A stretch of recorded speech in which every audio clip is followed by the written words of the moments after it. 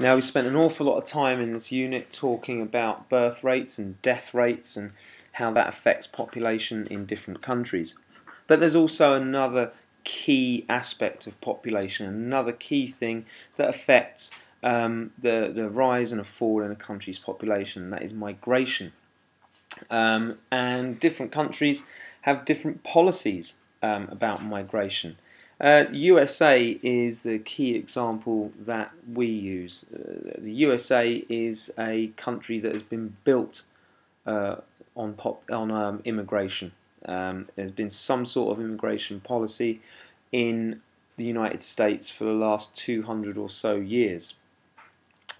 Um, and of course, the, a, a, very high profile example of this, if you look at uh, the US President Barack Obama, his father was an immigrant into the USA and he's managed to become the most powerful man in the world. So it's very, very important in shaping American culture, but also very, very important in uh, shaping the size of the country's population.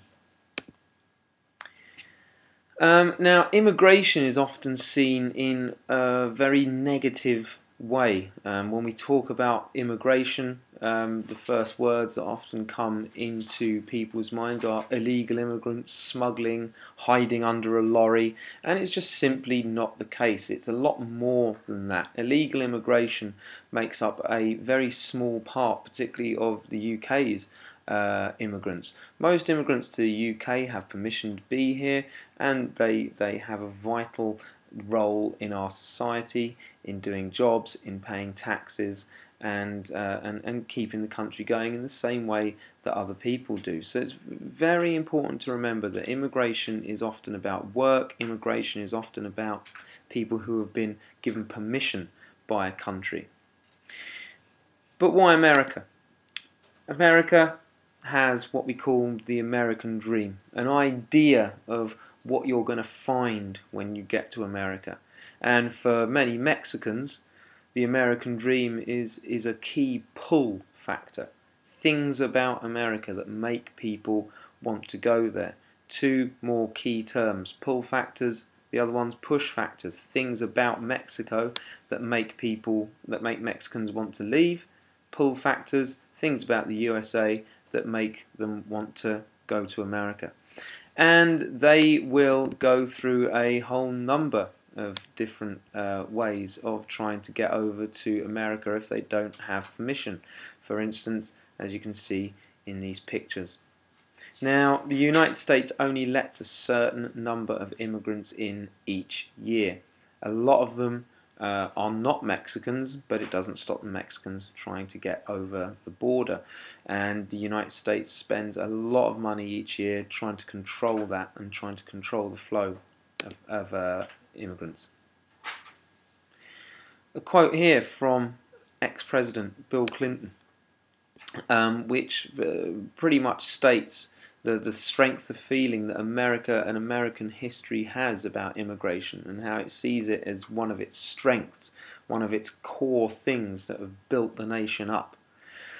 Um, there's more legal immigrants settled in the United States than any other country of the world. In fact, 12.4%, maybe a little bit more now, uh, of the population are immigrants from a whole number of places around the world. Europe, um, Jews from Europe uh, in the 1930s and 1940s escaping persecution, uh, the black communities uh, in America who go back to um, history in slavery, the Hispanic, Spanish people, uh, Spanish-speaking um, uh, people in, in, in United States coming from Central and South America, just to name but a few.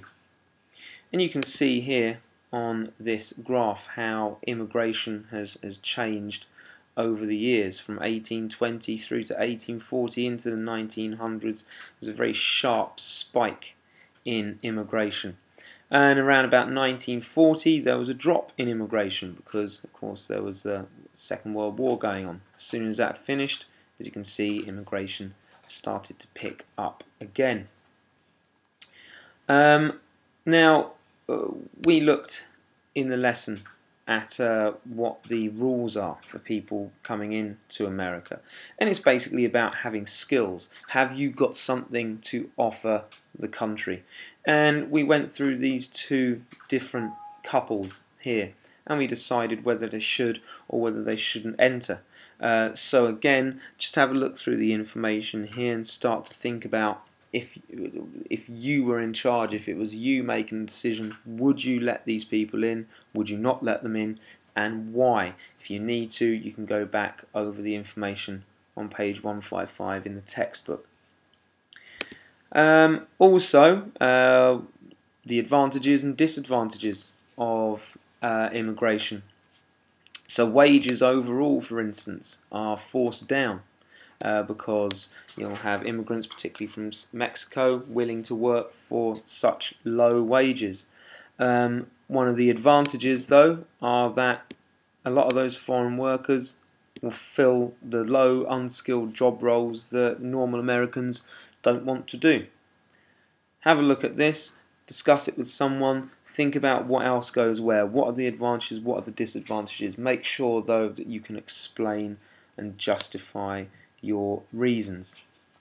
Um, and also, America isn't the only country to have a immigration policy. Russia and the UK, for instance, also have an immigration policy. And this task here might be a very interesting one for you to do if you're looking for those higher grades, the A stars and the A's being able to compare and contrast Russian and UK's immigration policies and be able to justify an opinion about which one you think is best and why.